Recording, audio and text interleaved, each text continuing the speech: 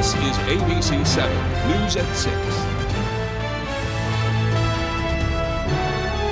Good evening, everyone, and thank you for joining us. I'm Beth Jones. And I'm Peter Dubois. First tonight, state lawmakers took an initial vote today on a bipartisan bill seek, that seeks to change how cannabis gummies are labeled. Our Augusta reporter Corey Bouchard has more on what changes may soon be coming. What we saw today was um, my colleagues in both the Republican and Democratic parties uh, acknowledging this, and we had a strong over two-thirds vote to uh, move this forward and, and let these folks bring their products to market in a, in a safe way. Representative David Boyer of Poland sponsored LD 2147, which seeks to change the way cannabis infused gummies are labeled by removing the current requirement that each individual gummy be stamped or embossed with a universal symbol for THC.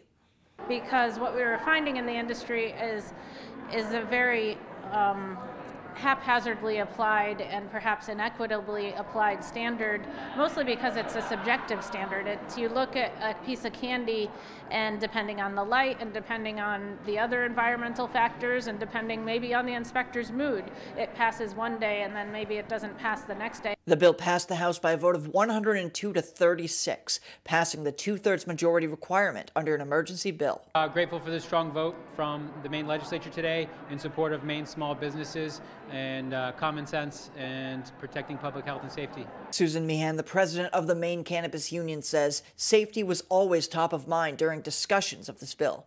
This is so important to us because it maintains the child safety features of our packaging. It maintains the tamper-proof packaging. It maintains the child resistance packaging, and it maintains the symbol and the other labeling requirements on the label. The Senate is scheduled to vote on the bill Tuesday.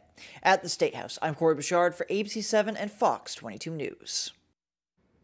Governor Mills unveiled a change package for her supplemental budget that allocates more than $100 million for investments in housing, childcare, and nursing homes. The proposal would fund a number of initiatives, including $22 million in one-time funding to create more than 150 new housing units in Maine, with additional funds to support purchases of mobile home parks by their residents. It also includes $12 million for one-time relief grants for child care providers, $23 million to support nursing facility reform, and $17.5 million for the Maine Emergency Management Agency for storm recovery.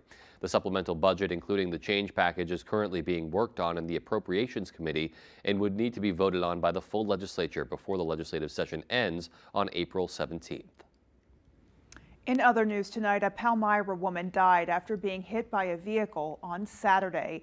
It happened just after 7.30 in the evening. Somerset County Chief Deputy Michael Mitchell says 45-year-old Heather Corey was crossing Route 2 from the Walmart parking lot towards the Dollar General when she was struck by a van driven by 80-year-old Gerald Heskett of Palmyra. Mitchell says Corey was taken to a local hospital where she was pronounced dead. Heskett was not injured in that crash. It remains under investigation, but Chief Deputy Mitchell says speed and alcohol were not factors in the incident. In other news, a $30 million bond for Maine Trails is one step closer to getting on the November ballot. On Friday evening, the, the, Appropriations and Financial Affairs Committee unanimously voted to send the initiative to a full vote of the legislature. Advocates have been pushing for lawmakers to send the initiative to voters and say the influx of money will help almost every industry in the state. Because we've never had a trails bond in the state of Maine. We've never invested in our trails. Trails bring a lot of value to our economy, to the quality of life of Maine people, and the time has come when people recognize we could get even more value, more for our economy, more for our public health, get kids back out into the outdoors, create opportunities for seniors to have trails that are accessible nearby. Both chambers in the legislature would have to approve the initiative by a two-thirds majority in order for the question to appear on November's ballot. Well, winter weather can certainly wreak havoc on roadways, causing potholes and cracks along even the busiest of streets. But that same kind of damage is also inflicted on sidewalks, which creates an inconvenience and potential hazard to those who use wheelchairs. Our Doug Banks has more. Being able to step over a crack in the road or a pothole, it's just a luxury that a lot of people don't realize they have. 19 year old Ko Sumimtra has lived in Bangor for eight months, but has dealt with chronic pain, narcolepsy, and more his entire life. I'm what they call an ambulatory wheelchair user, and it just means that I have the ability to stand and walk for short amounts of time.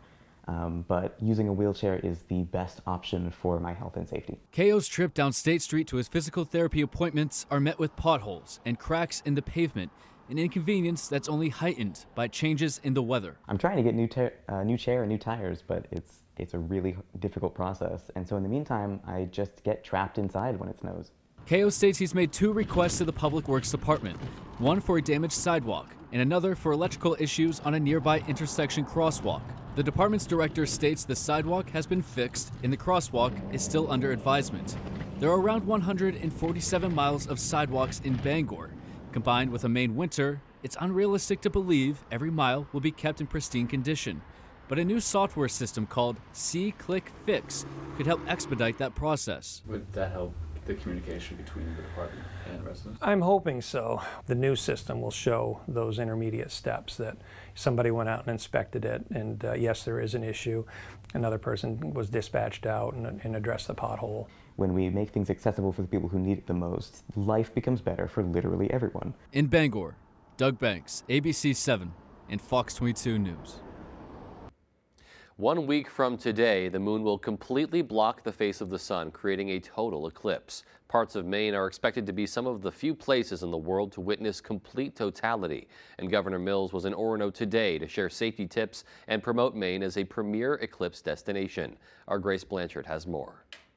Maine will once again have the best seats in the House for a historic total eclipse of the sun. On April 8th, more than half of Maine will be able to see the eclipse in full totality for more than three minutes. Governor Mills says her administration has been preparing for the event since last year. We expect tens of thousands of people to travel to Maine to inc- enjoy this incredible event, and we couldn't be more excited to welcome them. The Maine Department of Transportation is urging people to be prepared for congested roads and to be mindful of Maine weather. This is mud season in Maine. And uh, if you don't know the road and haven't been on it several times already at this time of year, don't go on it. Officials from the Maine Emergency Management Agency suggest people pack paper maps as they expect cell towers to be overwhelmed. Traffic management plans, we have fuel shortage plans. So we have all these plans that we look at whenever there's an event like this to make sure that every base has been covered. The governor also stressed the importance of enjoying the spectacle safely. Regular sunglasses just won't cut it. Eclipse glasses block the sun's radiation from reaching your eyes and causing permanent damage. For more safety tips, visit our website, foxbangor.com. In Orono, Grace Blanchard for ABC 7 and Fox 22 News. So the buzz has already been building for weeks. It's just Yeah. going to get more, there's just going to be more and more excitement swirling as now we're just within a few days of the event, really. Yeah, and we've been talking about it for so, so long we uh, since we're so close to that path. But Yeah. you're really starting to hear that buzz really across the country now. People getting so, so excited, and a lot of people traveling long distances uh, to to be close to that path of totality. Yeah, and it's going to be sweeping right through our wonderful state. Mhm. Let's go ahead and get a first check of our forecast. All right, Beth and Peter, thank you. Happy Monday. Look at us. High temperatures today, back near 50, pretty much area wide today, but cooler temperatures are on the way. Not so much tomorrow, but for Wednesday, Thursday, and Friday, along with a pretty big weather system on the way as well. For tonight, though, still some clouds out there. A couple of sprinkles and flurries cannot be ruled out this evening. It will not be a big deal. The bigger deal is over here, and this is a really big deal. A strong storm system's on the way for late Wednesday, Thursday, and Friday. It is likely going to bring us some snow, and that snow could be locally heavy. Already, winter storm watches are posted for much of the region for snow, and again, potentially heavy snow late Wednesday, throughout the day on Thursday, into Friday afternoon. Our forecast then for tonight, though, is mostly cloudy skies, a couple of sprinkles and flurries out there. With low temperatures down near 30, your full forecast is coming up. Beth and Peter? Alrighty, Jeff, thank you so much. And coming up on ABC 7 News at 6, April 1st, of course, the first day of opening open water fishing on lakes and ponds in Maine, as well as the first day prospective moose hunters can enter the lottery. We'll have that and more from the director of the Maine MDIFW and more coming up right after the break. Stay with us. Comfy, cozy, relaxing. Not Joe. Joe's Furniture. Joe's Furniture Warehouse in Newport is the place to find rockers, recliners, sofas, and easy chairs. Quality furniture, affordable prices. Not your average Joe. Joe's Furniture Warehouse, Grogan Avenue in Newport. Do you have a wet basement, nasty crawl space, settling foundation, sinking concrete, or clogged gutters? I'm Tony Hafford with TC Hafford Basement Systems, all things basementy. For over 30 years, thousands of homeowners throughout Maine and southeastern New Hampshire have trusted TC Hafford. Basement waterproofing, crawl space repair, stabilizing foundations, concrete leveling, and gutter installation. Call TC Hafford Basement Systems for all things basementy.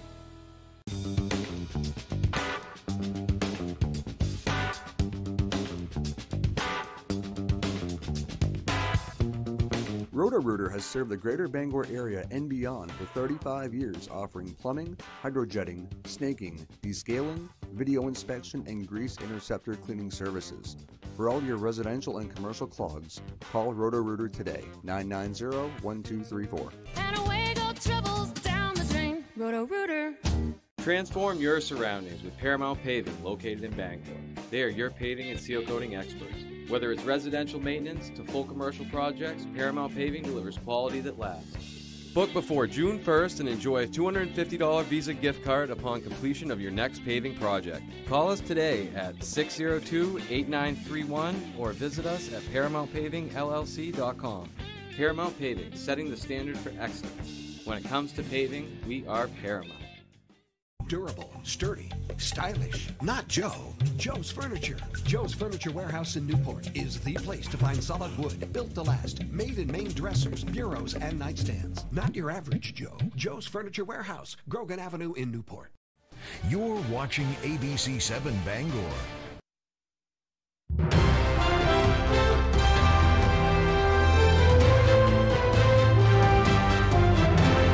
Welcome back. Maine is known for its vast outdoor recreation, and for those who love to fish and hunt, well, today is a very big day. April 1st kicks off the first day of open water fishing at lakes and ponds. According to the Department of Inland Fisheries and Wildlife, many bodies of water are closed to all fishing for months to help protect and preserve certain populations of fish, like the native wild brook trout. It's also a big day for moose hunters, as Mainers can now submit applications for a moose permit through the state's lottery system. According to the department, they are expecting more than 60,000 people to apply for the 4,000 available moose permits. April 1st still holds a special part for hunters and anglers, particularly fishermen. They know that's really kind of the start to the season. It's when they can start keeping fish. And also, if you love to hunt, you know you need to apply for your moose hunting permit, and you can start doing that on April 1st. A big day for sure. Well, according to Lottie, there are 360,000 licensed fishermen in Maine, and he says both the hunting and fishing industry are huge economic drivers for the state. Applications for the moose permit and fishing licenses are all available online, and for more information, you can visit our website, foxbangor.com. April 1st also marks April Fool's Day, and if you've been around Maine for a while, you probably know no one does pranks and gag gifts quite like Perry's Nut House in Belfast. The nearly 100-year-old novelty store has been supplying Mainers with tools for their own individual hijinks for decades. According to Perry's Nut House owner, Kent Darling, there was a sizable amount of customers who stocked up for April Fool's Day over the weekend people come here specifically for that. They call ahead to see if we have them or not. And it's pretty funny, you know, uh, ink shooting pens, disappearing ink. Like I said, uh, whoopee cushions and uh, all kinds of cool stuff. On April Fool's Day, the Nut House is getting ready for the upcoming summer season. They'll feature some new attractions like some locally made ice cream and a Perry's Nut House Museum lots to look forward to, and I'm sure lots of fun being had today. Probably get some good ideas walking through that place. Oh, I bet. Alrighty. well, coming up in sports, Brewer baseball is back after a 14 2 season last year, and they've got a brand new home field too. We'll have that story right after the break. Comfy, cozy, relaxing. Not Joe. Joe's Furniture. Joe's Furniture Warehouse in Newport is the place to find rockers, recliners, sofas, and easy chairs. Quality furniture, affordable prices. Not your average Joe. Joe's Furniture Warehouse, Grogan Avenue in Newport. Mesothelioma is more than a ravaging illness. It is a disease that can ruin a family's finances and is never the victim's fault. The law offices of Joe Bornstein has been fighting and winning for Maine families for nearly 50 years, and we've collected over $500 million for injured Mainers. If you or a loved one is a victim of mesothelioma or asbestos-related lung cancer, call Joe today for a free case evaluation and to learn about your family's legal rights. Dial 207-CALL-JOE or online at joebornstein.com. A quality replacement window made with Fibrex material, which is twice as strong as vinyl, delivered through a stress-free process. Welcome to Renewal by Andersen. Get the peace of mind knowing Renewal by Andersen handles everything from start to finish. With one call, you'll enjoy working with the best people, exclusive products, and a superior process. It's the people. It's the process. It's the product. Call now to get our exceptional signature service. This fantastic offer is available only for a limited time. Renewal by Andersen, the better way to a better window. Jamar Construction Products in Bangor continues to grow to meet our customers' needs, supplying products for site work contractors, concrete contractors, and survey and safety supplies. We are proud to be the local dealer for Hilti, Valley Blades, U.S. Fabrics, and Euclid Chemical, plus so much more. Stop by and see us at 1270 Hammond Street or give us a call at 907 4491. If you dig it, pour it, plow it, fasten it, lay it, or lift it, Jamar Construction Products can help you. Durable, sturdy, stylish. Not Joe. Joe's Furniture. Joe's Furniture Warehouse in Newport is the place to find solid wood, built to last, made in Maine dressers, bureaus, and nightstands. Not your average Joe. Joe's Furniture Warehouse, Grogan Avenue in Newport. Tonight's sports is brought to you by Healing Hands Massage in Hampden, providing professional massage services tailored specifically for their clients. Stop by Healing Hands Massage today. You'll thank yourself later.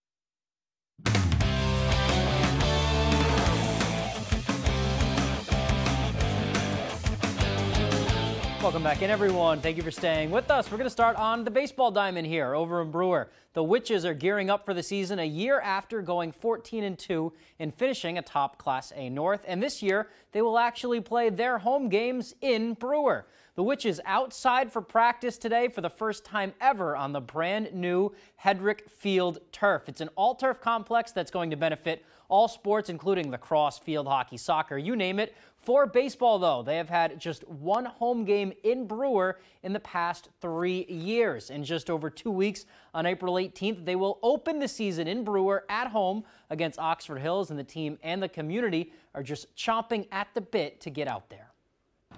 We've always had a great atmosphere at this field, and um, you know, I mean, I'm sure the guys are going to be like me. I've been around baseball for a long time.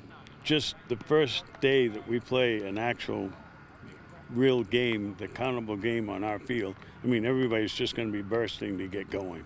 Um, when I was a freshman, we heard that we were going to get turf, and now that we finally have it, it's it's such a blessing and it's an awesome opportunity, and it's going to be a really fun year for my senior year, just because turf is really fun, especially up here with all the snow and rain. As for the Witches, they have a lot of experience coming back from that team that went 14 and 2 last year, finished in first place, but they were upset in the first round by eventual Northern Maine champs Edward Little. A lot of Brewers pitching rotation and bullpen are coming back with a ton of varsity experience, including senior Grady Venetestein, and they are excited for the opportunity to string some wins together once again.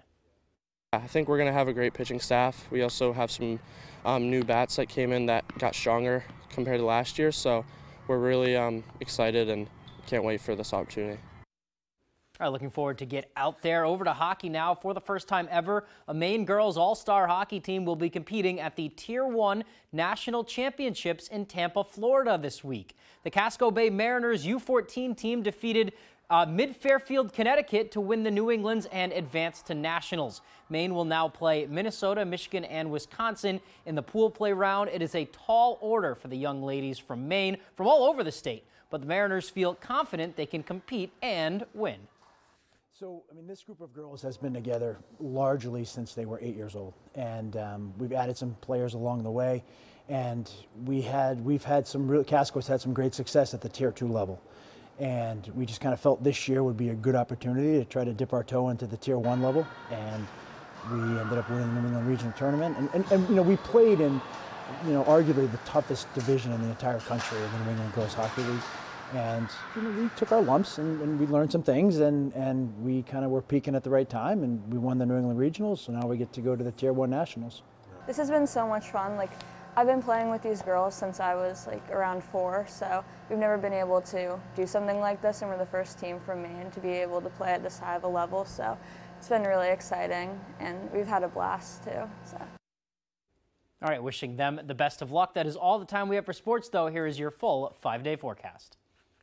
Here we go. Your full weather is brought to you by Big Pine Painting, the number one family owned and operated painting company serving Bangor and Belfast and surrounding areas. For all your paint, drywall, and pressure washing needs, call today for your free estimate. Okay, so here we go. Eclipse, of course, one week from today. Everyone's wondering, well, what's the weather going to be like? Well, here is the path of totality pretty much across the U.S., and we are not the only ones to see this. It starts off in Texas, through Waco, through Dallas, of course, Texarkana, up toward Little Rock and Jonesboro. Uh, lots of people are going to see this actually. 35 million plus will see this in the path of totality. And then here we are in Dayton, over toward Akron and Cleveland, right over Lake Erie, by the way. There's Buffalo and Syracuse. And here we are entering our neck of the woods. It's going to be amazing. Again, a week from today, totality right over the state before it takes off into parts of Canada. Now, we're wondering probably what's the historical weather like? Well, here are the last pretty much uh, 10 uh, April 8th, right? So you can see now what it's been like weather-wise across our neck of the woods. Sometimes it's sunny, sometimes it's cloudy. So again, it kind of roll the dice. But our forecast right now is actually a pretty good one with a large storm system getting in here Wednesday, Thursday, and Friday, and then potentially clearing out though for Sunday, Monday, into Tuesday of next week. Okay, 52 here in Bangor today, 50 Millinocket, 48 for Bar Harbor. We'll take it. Spring-like temperatures across the area. That trend is going to continue. Here's the outlook now for pretty much the next two weeks or so well above average temperatures across our neck of the woods. And then beyond that, the spring outlook is out as well. Take a look at this. This is for April, May, and June. Above average temperatures across the Great Lakes and Northeast here, of course. Uh, that could keep temperatures well above the averages around here. Okay, so first, though, a system to get through. Out there today, nothing bad. Some high clouds out there, a couple sprinkles, a few flurries tonight. That will not be a big deal at all. The bigger deal is over here to the west of us. This thing has a ton of energy, a ton of moisture, and once it gets here, it's going to have a lot of wind in there as well. We have quite a weather system to get through late Wednesday, Thursday, and Friday. Tonight, no issues at all. Here's tomorrow, 7 o'clock or so, looking good still. Here's Wednesday morning, we're still just fine, but by Wednesday evening, clouds increasing, snow developing up along east uh, the coastal areas as well, down east areas too, and that snow continues late Wednesday night through Thursday into Thursday evening, and now we're into Friday. More snow on Friday, uh, some backside slush in there as well before it finally pulls out of here Friday evening. Already, winter storm watches are in effect for the area for later Wednesday, Thursday, into Friday for snow in anticipation of snow. And again, this could be a really heavy snow across our region. Our forecast for tonight, though, is lots of clouds out there, sprinkles and flurries, low temperatures down near 30. For tomorrow, all right, partly cloudy, high temperatures reaching for 50. We might do it with that north breeze around 5 to 15. And looking ahead, your five day forecast shows the calm before the storm tomorrow into Wednesday. Late day rain changing to snow Wednesday night. Heavy snow Wednesday night into Thursday through Thursday. Uh, snow locally heavy through Thursday. Lingering a bit of rain and snow on Friday. And then here's the weekend with temperatures near 40. All right, so another active week ahead. No, that's putting it mildly. All right, there's still more to come. Stay with us. Your local professional eco-friendly office space partner is Levesque Business Solutions, your one-stop shop to get the job done. Handling all your office furniture and printing machine needs at an affordable price. Offering full system integration into your workplace and local service on everything we sell. We can even remote monitor your system with just-in-time inventory and service need assessments. Little to no downtime gives you peace of mind. At Levesque Business Solutions, your solution is only an email or a phone call away. Hanks Husqvarna is your full line Husqvarna dealer with two convenient locations 32 Old State Road in Carmel and 19 Moosehead Trail in Newport. Whether it's tractors and zero turns, chainsaws to trimmers, or pressure washers to battery power, everything is set up, serviced, and ready to go by our certified Husqvarna technician. And all sales are backed by our in house Husqvarna warranty. For parts, service, or sales, stop in to Hanks Husqvarna, Carmel, or Newport. The FlexSteel Spring Semi-Annual Sale is in full bloom with fresh savings on fabric and leather reclining and stationary furniture, tables, beds, desks, dressers, and more. Furniture that comforts, furniture that endures, all with a blue steel spring at its core. FlexSteel, designed for living, built for life. Save big today during FlexSteel Spring Semi-Annual Sale. Dorsey Furniture, open seven days a week, Route 1A Holden. Dear Savvy Traveler, airline food isn't what it used to be. I need to fuel up before I fly. Dear Hangry, you can fill up before takeoff at Bangor International Airport. The Highlands Cafe has quick and casual. The Refueler Pub and Grill has heartier fare. And the Post Security Cafe, other side of TSA, offers a pick me up before wheels up. Bon appetit and bon voyage, Hangry. And remember, the savvy travel through Bangor International Airport. Flybangor.com.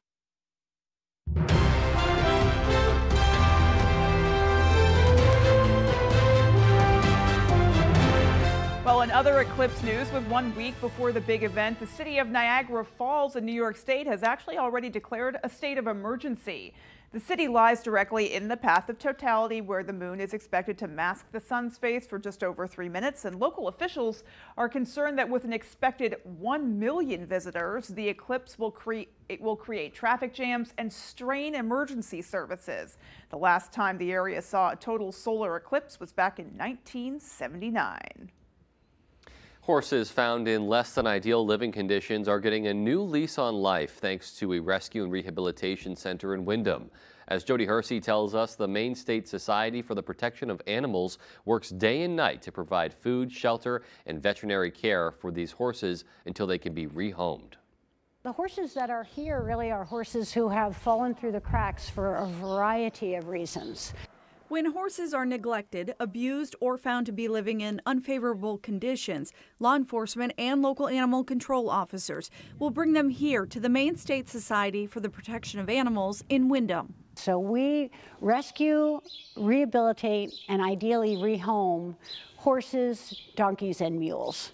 Horses just like this quarter horse cross named Cherry. At the time she came in, her feet were overgrown. She had no boots, no shoes, no support for her feet, so she was having a really hard time walking. Jeff Greenleaf is the operations manager at the MSSPA.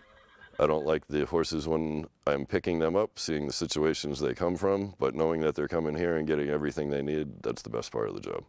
This nonprofit, which receives no state funding, provides food, shelter, and all the veterinary services these animals need as they convalesce and heal. So when they come here, um, we like to think that their luck changes. Three of the horses from the Maine State Society for the Protection of Animals are now living here in Orrington at Raining Hope Ranch. This is the new home for Trip, Amir, and Leo. The participants have they they love them all. Raining Hope Ranch provides equine assisted therapy to adults and children with diverse backgrounds. I hadn't anticipated when I started this organization to be using rescue horses so much. It has provided a, an unexpected benefit to both the horses and the participants in our program because there's so much relatability between their past. However, not all the horses treated at the MSSPA can be adopted or rehomed. When that occurs, the animals are allowed to live permanently at the MSSPA for the remainder of their days. In Windham, I'm Jody Hersey for ABC 7 and Fox 22 News. Well, when I lived in southern Maine, I had the extreme good fortune of volunteering at the MSSPA, and it is just the most wonderful, uplifting place you can imagine. It is so wonderful there, and they work tirelessly for those horses. It's just extraordinary. Yeah, you know, just getting a glimpse there, it's it really seems like that's the case. Hearing from Mhm. the people who work there, you can tell how passionate they are, and uh, horses, uh, just such majestic animals, and so so glad to see uh, that there there is something like that for them here. There's a real spirituality about them for sure, and love that there's a connection to our region as well. Exactly, yeah. Alrighty, folks, well, that is going to do it for us from everyone here at ABC 7 News. Take care and have a great night. Good night, everyone.